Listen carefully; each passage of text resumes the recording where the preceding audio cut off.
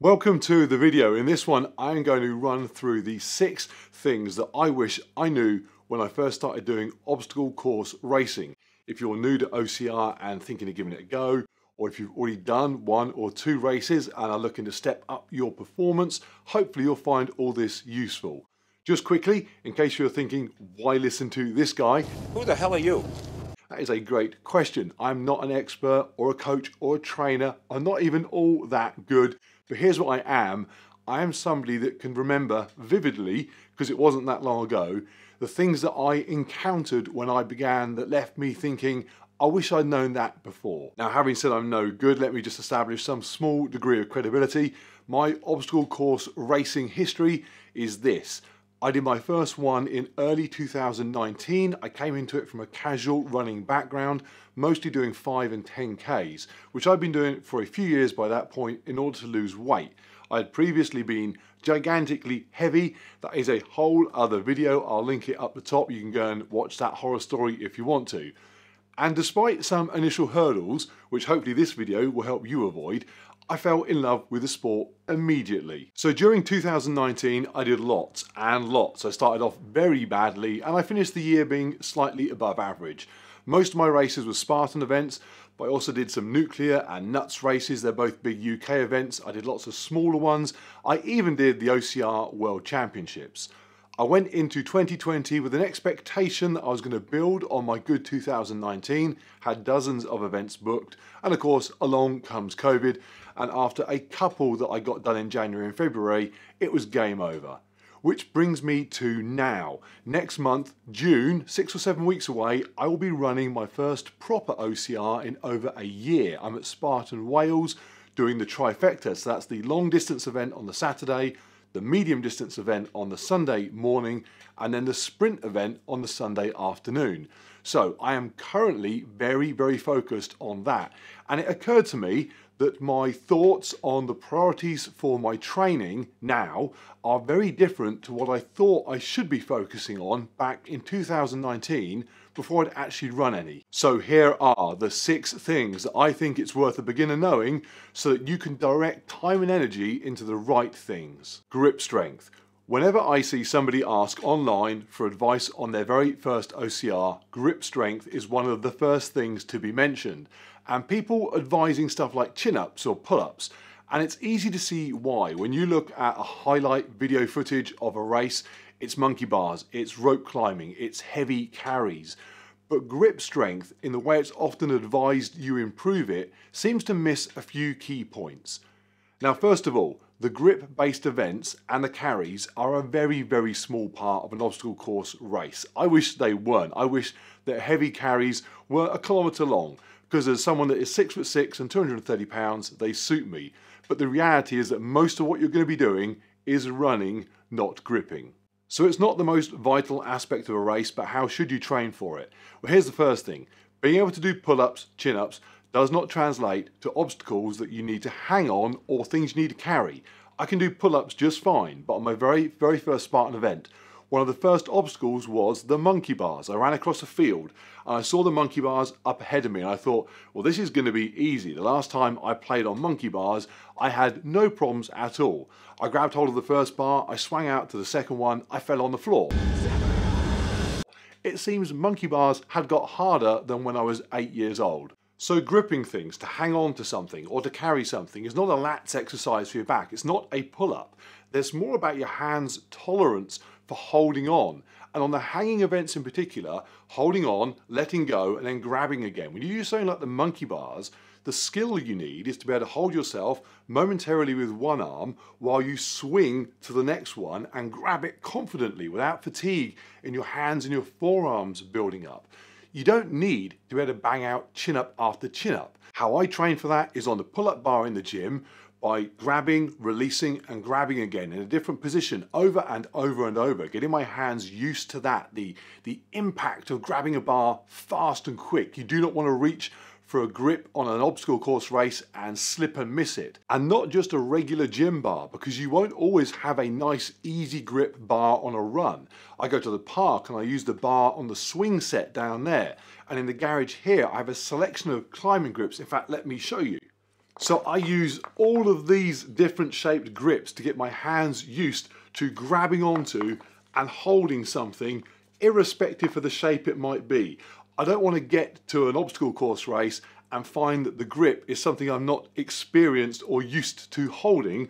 Uh, I want to just better grab anything within reason. And talking of climbing grips, I took up indoor climbing because that is excellent. It perfectly mimics some of the obstacles that you'll find. Having said, it's not a pull-up exercise. The one thing I do practice is a sort of half rep movement. There will be times when you are struggling to get to the next grip along and if you're at full extension with your arms, it is physically impossible to complete that movement unless one of your arms is oddly longer than the other. So you will need to sort of half pull yourself up so you can grab to the next rung. I train that by doing my hanging leg raises, which I already do a couple of times a week in the gym anyway, with a, a bent arm position. As simple as that. Skills. Skills are awesome because once you learn them, you leapfrog other people with minimal effort. Now, not every event has the same obstacles, and if you're doing a one off race and it has some wacky thing they have you do, it may well be that is not a skill worth learning. But there are things that crop up often. At Spartan races in particular, the three that I'm going to go over are the rope climb, the spear throw, and the rope traverse. These are things that done right can be over in seconds and should take very little effort. Done wrong, and you are either exhausting yourself unnecessarily or even worse, doing a penalty for failing an obstacle. So the rope climb, if you've ever watched CrossFitters going up a rope arms only, forget that nonsense. Do not climb a rope like that unless you were raised in the circus. The secret to a rope climb is locking your feet off with a J hook or an S hook, and that's it. There is no upper body strength required beyond holding onto the rope to not fall off, obviously. Check out online tutorials, Spartan do some great ones themselves. Once you can lock your feet, it is as simple as standing up. You adjust your grip, raise your legs back up the rope, lock them off again, and stand up again. Repeat until you get to the top. I bought myself a rope on eBay. I tied it to the ceiling in the garage here, and I just practiced doing the J hook over and over until I could do it without looking. Didn't need to look at where my feet were, where the rope was. They just found the rope and locked off. The rope climb went from being a draining upper body exercise to being something that I now I look forward to it. It's an opportunity to basically have a break from running. And I'm one of the heavier people doing OCR. It doesn't matter. I've arrived at a rope climb, seen people struggling on the rope, done mine, left, and the same people still struggling. I feel like just shouting back at them, guys, go and watch a J hook tutorial. It should not be that hard the spear throw. This one's quite particular to Spartan, but if you're running a Spartan, you do not want to miss the spear throw, especially if you're running the Beast long distance event, because it happens twice. Now, if you do it right, that is about 10 seconds of effort. You do it wrong, that's a lot of burpees. I missed all my spear throws in my first few races, and it dawned on me that I was just going to keep missing them until I'd practiced enough. But the only time I practiced was the one throw during the race. If you race a lot, that might mean you still only get 10, 11, 12 throws a year. You don't get good at a skill like that by doing 12 reps a year.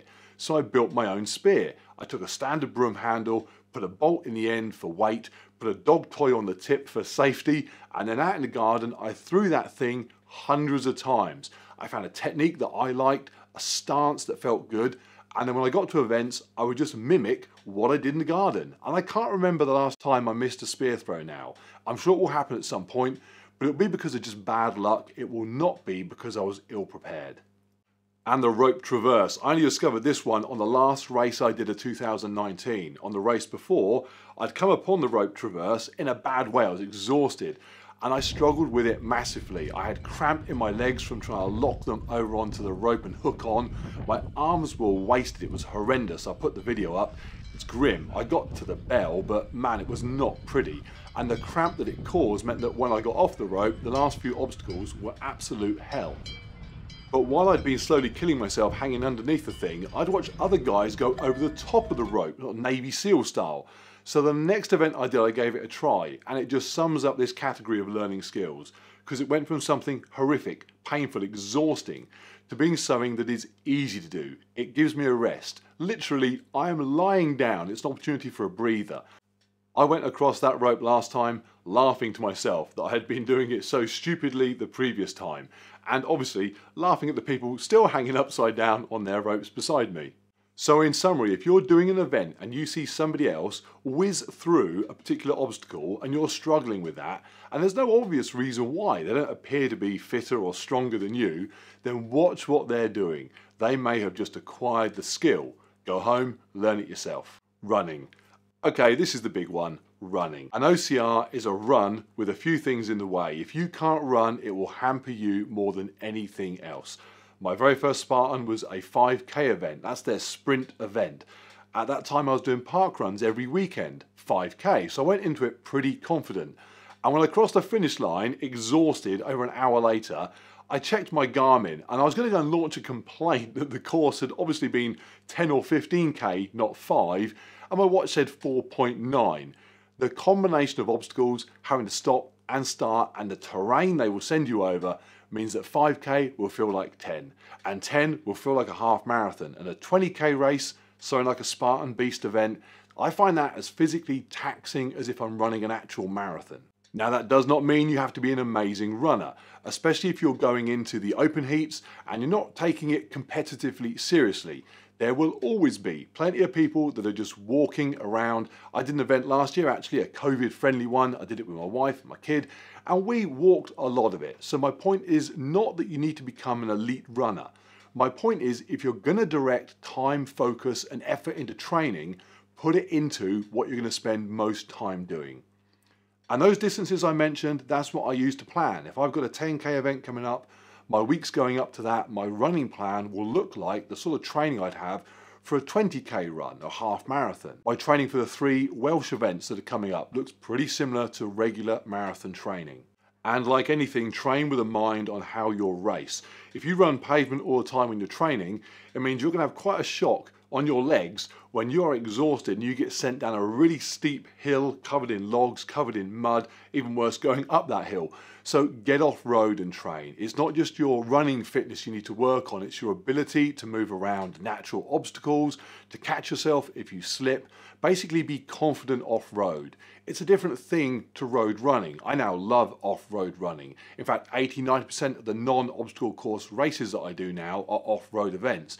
And I've beaten people on those trail races that were far, far better runners than me, but just not as confident flying through woodland or down steep descents, over ditches, through streams. So just run, run off road and get some distance in beyond the length of the event you're going to enter. The right category, now I'm mindful here, especially of having just spoken about the importance of running, that I don't create the impression that you have to race, that it matters what time you get, that it matters what place you get, if it doesn't matter to you. Of course it doesn't. Anybody doing an OCR, from the person that wins to the person that comes last, is doing vastly more than the average human being who is a physical mess. So if you want to walk it, or jog walk, or jog slow, do that and enjoy it. However, if there is any part of you that is thinking, I'm quite competitive, I'd like to take this quite seriously, I strongly recommend running in the right category. Now, not every event has separate categories. Some you simply run your race and you see where you come. But some, Spartan for example, break it down into three groups. They have elite runners. If you're an elite runner and you're watching this, stick it down in the comments because that will be rather amusing. They then have open runners for everybody. It is timed and you do get a finished position, but it's a different atmosphere. No one is going to criticize people for helping each other. If you can't do an obstacle, you can skip it. I think it's fair to say nobody is too fussed if you don't complete your penalties for skipping those obstacles. If you just want to go along and have fun, it is absolutely perfect. As I said, I've run events like that with my wife and kid where we go along and we just run open, we have a great day out. But between elite and open is age group. There you're racing against people that are your age competitively. That means you are not getting help. You are doing the obstacles or you're facing the penalties. I have never run a Spartan outside of age group. The very first one I did, I asked a couple of forums online and 99% of people said run open and see how you go. 1% of people said what you got to lose? Go for it. At least you'll know where you stack up legitimately against people sticking to the same rules as you. So I ran age group. I came last or almost last. I kind of forget. It was certainly very close to last. and I was hooked. I went home, I looked online, there was a list of names that ran the event. Mine was on there, right down near the bottom. But that was it. I was a competitive athlete. Again, this advice is not for everyone. If you want to simply enjoy your day, smile when you see the photographer snapping away and wait for your friend who is lagging behind, basically just be a nice, pleasant human being looking to stay in shape. Open runs are brilliant, but if you want to compete, no matter whether you're good enough or not, if your concern when you see the photographer is they do not get in your bloody way and you will trample your friend just to get ahead of them, age group, competitive heats. Of the six tips, this is the only one I've got right from the start and I have never regretted it. Kit. I could talk about kit forever, the kit I use in training, the kit I use for recovery. I've got lots of videos and all that stuff already, so go check those out. But here I'm going to talk about and focus on just three things that I altered after I started, so I could have done with knowing about in advance. Shoes are really particular, so this advice is not about a particular brand or particular model, but rather a style. I did my very first OCR in my park run shoes and quickly discovered that what was great on flat, dry grass was not very good gripping onto a rope or running over wet, muddy ground, tree roots and clambering over things. You need trail running shoes and finding the ones that work for you could be a bit of trial and error. If you ask a question online, you will get people who are just passionate about their particular shoe telling you that is the best thing ever, you need that. But if it's not right for you, it'll be horrible to run in. For example, after my first run, I switched over to Inov-8 shoes, which are great, awesome off-road grip. And they are very good shoes, I recommended them lots. But by the end of the year, my foot had got so wide from all the off-road running I was doing that there wasn't a model they made that my foot fit in. So now I run in Altra shoes, in particular Lone Peaks normally. They are nice and roomy, but that's because I like a minimalist shoe, especially off-road. They have very little cushioning, there's zero drop between the front and the back of the shoe. I like the idea of having very little between my foot and the ground. It allows me to catch a rolling ankle much faster and just feel what is underfoot at my size and weight, I have enough problems barreling through a forest as it is without being unsure what I'm standing on. So they work for me, but not everybody. Find what works for you. Oh, and here's a tip, gaiters. I discovered these halfway through my first season, but I will now always wear them. They're incredibly simple. They just keep stones and twigs and rubbish from going in your shoe. I'm amazed more people don't use them. You do not want to run a three hour event with a stone in your shoe. But they also keep your laces tied. Wet laces will flap about and come undone. And when you step in deep mud, as you often will, you can pull your foot out and have your shoe still stay attached. I've seen enough people running OCR events with one shoe to know that you do not want to lose a shoe in the mud. Carrying water is an interesting one. My very first race, I carried water because I always carried water when I went jogging normally. And this was back at a time when I thought I needed to just have water all the time with me. You can check out my video on that as to why you probably don't. Now nobody else in that race had water with them. No one was wearing a pack. Half of them weren't even wearing shirts. I felt very over equipped. So the next event, I didn't carry water and I fitted in much better. I really looked the part. And halfway around, I wish I'd had some water. So now I just carry it, unless it's a very short event. Most people don't, especially in the age group categories, and I don't care. I've run past and overtaken enough people who have had to stop at water stations. I've washed my hands with my own water supply when they've got muddy before I'm jumping on monkey bars and want a good grip. I've even got muck and stuff out of my eyes with my own water supply. If I finish an event with water that I didn't need, it's mildly annoying, pointless that I carried it. But being halfway round and wanting it and not having it, that is a bad day out. If you don't need it, fine. But if you're more comfortable running with water, just ignore the fact that you might be the odd one out. And as with shoes, test whatever you're going to use. I used to use CamelBaks all the time, they're great for the mountain bike, but I found they bounced around too much on the runs. I now use a different model, doesn't bounce as much, holds enough water. I can chuck my gels in there as well if it's a long run. So test what you're going to use. And the last one's a weird one, hand products. It's odd, but if you get it right, it will quite literally save you a huge amount of pain and discomfort, so worth covering. Now I've lifted weights for a long time and I always thought that having calloused hard hands from doing so was a sign of effort, it was almost something to be proud of. No, it's not. Having one part of your hand hard and raised and callous is asking to have it ripped off on a hanging event. If you Google obstacle course races calloused hand damage, the pictures are horrific. In fact, don't Google it, you'll have nightmares. You do want your hands to be tough, but you want the surface of your hand to be even. When one patch is harder and more raised than another, that's when things get ripped off. I bought a little device used for sanding down the hard skin on heels. In fact, based on the photographs on the advert for it, a common concern for ladies wearing open back stilettos apparently. And every evening, I'd spend a couple of seconds grinding down the hard skin, apply a little moisturizer, and that's it. I've never had a problem despite being pretty heavy and on occasion spending a very long time hanging on things. Stopping and starting. The last one, something I was not prepared for when I began, was the mental toughness required to push yourself on these events. If you have ever run a long run, whatever that means for you, it could be 5k, 10k, marathon, ultra marathon, whatever you call long, when it gets really hard, your job is just keep doing what you're doing. And that might be tough, but it is what it is. Just keep going. What I found so different on an obstacle course race was the stop-start nature. The constant varying of effort that's required. One minute you're jogging gently across a field and then stop, do an obstacle, get off the obstacle, start again.